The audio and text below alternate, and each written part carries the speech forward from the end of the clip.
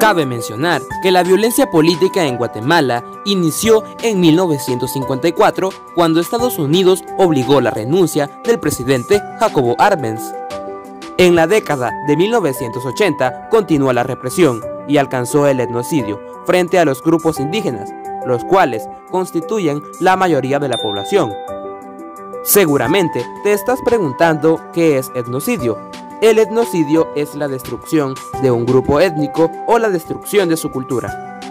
La crisis que llevó al conflicto fue el crecimiento del latifundio, es decir, una explotación agraria.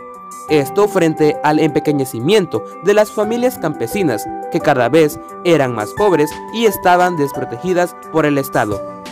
Mientras tanto, en la ciudad, el cierre de la vía democrática y la expresión del descontento popular llevó a configurar una organización político-militar para responder a un Estado autoritario y violento contra quienes consideraba opositores políticos. El conflicto se agravó a partir de 1980, cuando el ejército masacró a campesinos del nororiente del país y el asesinato de dirigentes de organizaciones estudiantiles y políticas.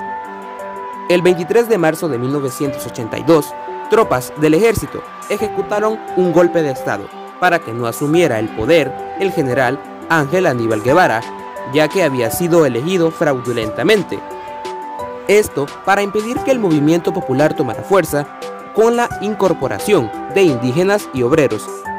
Frente a esto, el Estado elevó de 15.000 a 500.000 el número de las patrullas de autodefensa civil y multiplicó las incursiones en territorios indígenas, cuyo resultado fue 16.000 muertos y desaparecidos, 90.000 refugiados, mayormente en México, y un millón de personas fueron desplazados al interior del país. Estos actos de represión convirtieron a los movimientos populares de obreros y campesinos en grupos clandestinos, quienes concentraban ataques en la capital del país, según la CEH, la gran mayoría de las violaciones de los derechos humanos estuvo en manos de las patrullas de autodefensa civil y de los militares guatemaltecos. El proceso hacia una salida negociada del conflicto de Guatemala fue largo. Hubieron tres etapas para ello.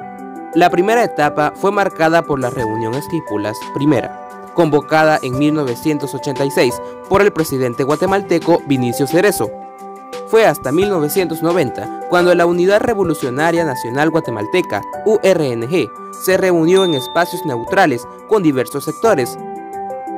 En la segunda etapa, la cual inició en 1991, el presidente de turno, Jorge Serrano Elías, presentó una iniciativa de negociación llamada Paz Total para la Nación, con la cual se eliminaría la lucha armada y una mayor equidad económica, social y democrática.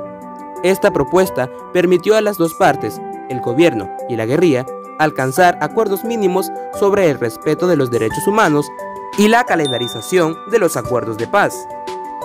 En la tercera y última etapa, que inició en 1993, se presentaron la calendarización y la firma de acuerdos para el esclarecimiento de las violaciones de los derechos humanos y hechos de violencia Finalmente, el 29 de diciembre de 1996, el gobierno y la guerrilla de Guatemala firmaron el acuerdo de paz firme y duradera, después de 36 años de guerra. Lastimosamente, al finalizar esta guerra se contabilizaron aproximadamente 200.000 muertos. Algunos de los acuerdos firmados en 1996 fueron la democratización, el cumplimiento de los derechos humanos, reformas constitucionales, electorales y agrarias, y también las bases para integrar la URNG, la Unidad Revolucionaria Nacional Guatemalteca, a la vida política del país, entre otros. Y hasta aquí ha llegado el video de hoy. Espero te haya gustado y servido este video. Si fue así, no olvides darle like, compartirlo y suscribirte a este canal.